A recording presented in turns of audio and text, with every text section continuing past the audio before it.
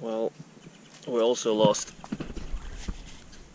the male, even though it was deformed and struggled throughout his life. Uh, male elephant ear gura giant gourami after the microbe-lift broad spectrum disease treatment, which is formalin and malachite green. The same thing I observed also about, I want to say about seven or six years ago when we lost uh, another deformed but older, older, probably female. She was about 15 years old, but after one of the treatments, I remember losing. Uh, she was tattooed. Her name was Tatushka.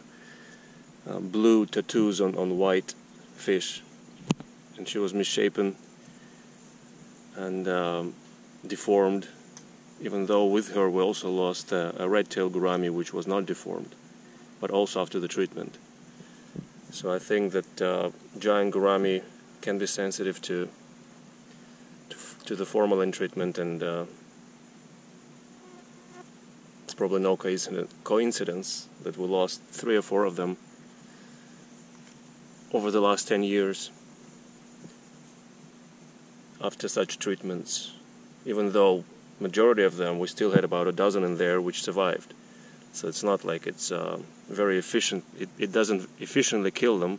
I guess the gourami has to be weakened, either have bad genetics or weakened otherwise, and then the, this treatment kills them. This is exodon gourami, so you have you see the teeth on the outside and they're pretty sharp actually. I don't know if you remember, but this was the male that was mauled by the Piraiba at some point. So its its tail has been removed and then grew back. Pretty much all of it was removed. It was just a bare caudal peduncle at some point. This was about, I want to say, three years ago. So its tail grew back a little misshapen.